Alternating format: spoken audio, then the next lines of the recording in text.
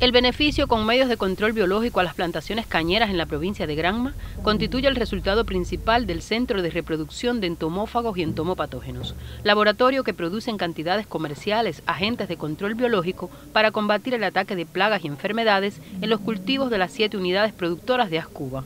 La materia prima fundamental aquí es la galeria melloneria. ¿Por qué? Porque con este, esta larva nosotros tenemos que obtener huevo las pupas y las larvas.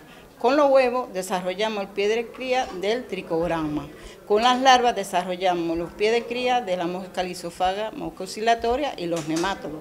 Y con los huevos, eh, con las pupas o cocón, desarrollamos el pie de cría de tetatricos o guardia.